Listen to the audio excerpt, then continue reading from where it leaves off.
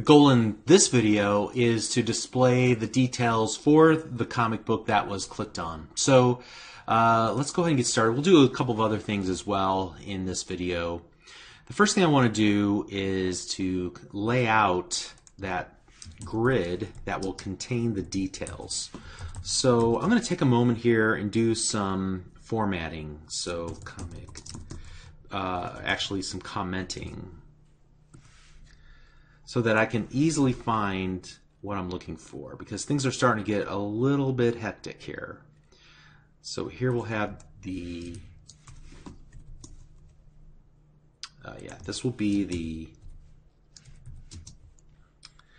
uh, character detail. And then this would be the uh, detail grid. All right, that should help a little bit. All right, so under comic details, we're going to add another grid. We're going to put this grid in, in the third row. Remember, we created three rows. This is going to the last one, and this is going to uh, we'll just go ahead and set all of this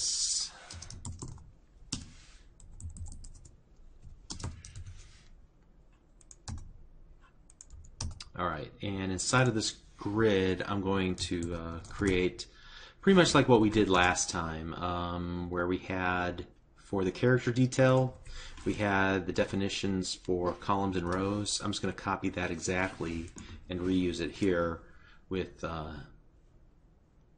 with uh, comics. And I see I've already made a mistake here.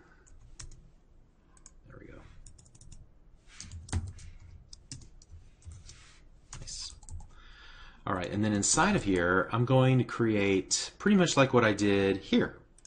In fact, let me just go ahead and grab this, and I'm going to paste it. And here we're going to go, instead of just detail image, this will be comic detail image. Instead of detail name, this will be comic detail name. And instead of detail description, it'll be comic detail description text block. It's easy enough. Alrighty, and now uh, what I want to do is uh, look at this list of comics. Currently, I didn't give the grid view a name before I created the item click.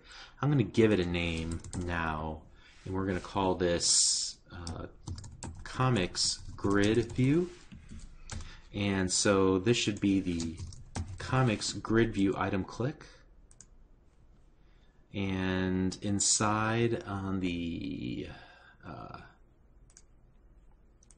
main page.xaml.cs, let's rename this to comics grid view item click.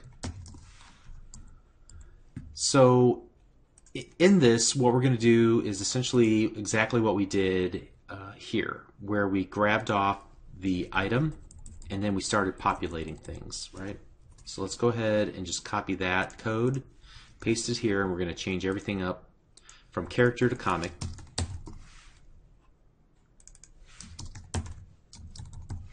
Comic book. Select comic.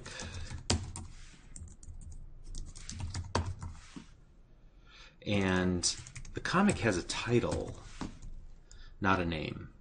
So we'll change that. Otherwise, everything will be just about correct. Let's make sure we're setting comic detail name and comic detail description. All right. Let's run it, see if it works.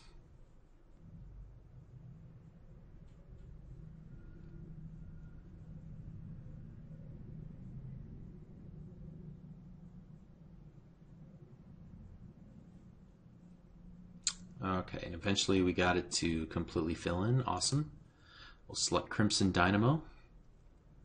Great. And I'm going to select one of the items, like that comic. Now, let me... Okay, you can see that we do see the details, but I have to scroll. I have to basically resize the window so I can get to it. There's no scroll viewer. So let's change that. Let's go back to the main page.xaml, and I'm going to add a outermost grid, and inside of that a scroll viewer.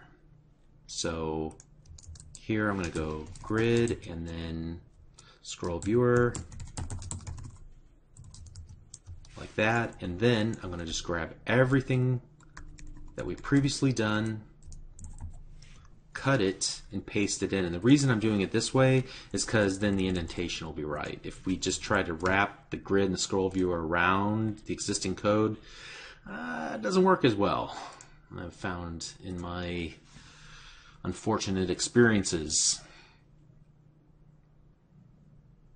All right, Fin Fang Foom an interesting character. And let's choose one of the comics, and we can see, whoops, okay, now what do we have here?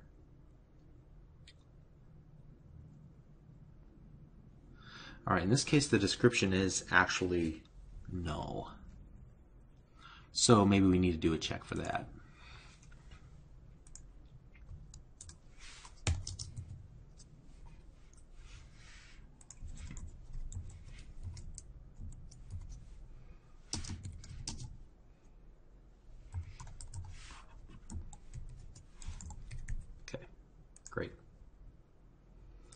Try that again. And this is why you want to test and test and test and keep running the application, keep using it.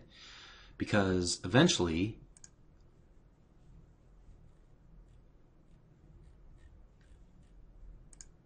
you're going to find new and interesting problems with the application.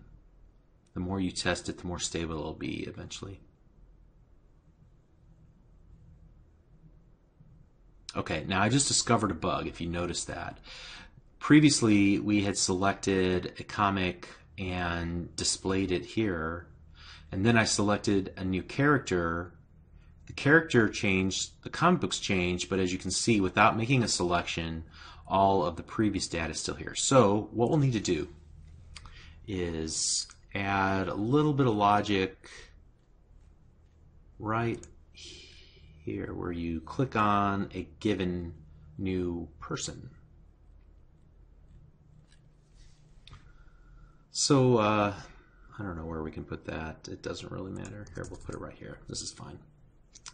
So I want to remove the comic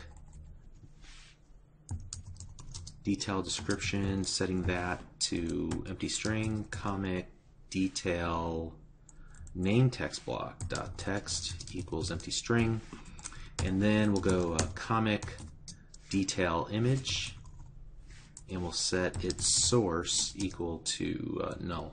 Let's see if that works.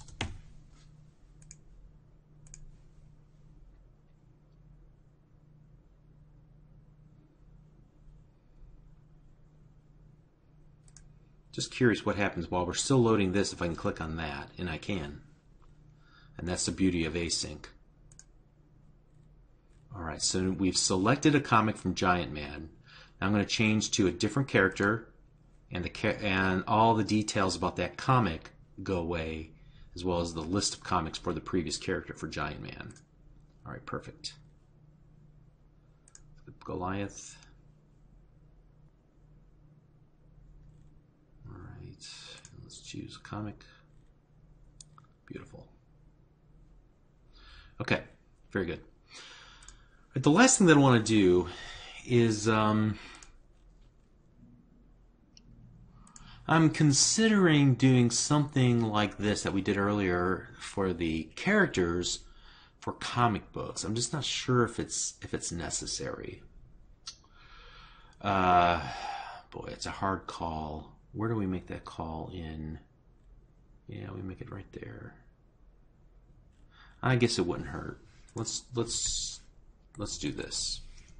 I'm to copy it more for a template than anything else. And um, what we'll do is grab this off. and put that there. And change that to comics. Let's move this guy over a little bit, move that guy over a little bit, and we'll remove that. So this should ensure that we get 10 comics if, those, if they exist. Now, if they don't exist, hmm, see, this is where things get a little bit tricky. See, I know in this case that there are 1,500 characters. What I don't know is that if every single character has at least 10 comic books associated with it, they may have zero but there'd be no way to really figure that out uh, without passing back some piece of information like a count. So I'm going to backtrack away from this idea. You can experiment with this if you like, but the danger is that you would wind up making an unlimited number of calls, returning back the same you know, count of one or two comics, and you wouldn't want to do that. You would use up all thousand of your requests uh, in about 10 seconds. So we're going to go back, but I'll leave that code commented out so that you can maybe think about some alternative strategies that that allow you to filter out the exceptions and make sure that an exception didn't happen. Maybe that's all we need to do here, actually. Ah, We'll just do this. Okay, we'll leave it at that. All right, so that's all that I wanted to do in this lesson. I'm I'm pretty happy with where things are at. Uh, the next thing I want to do is add an adaptive layout so that we can resize and things look good. So we'll do that in the next video. See you there. Thanks.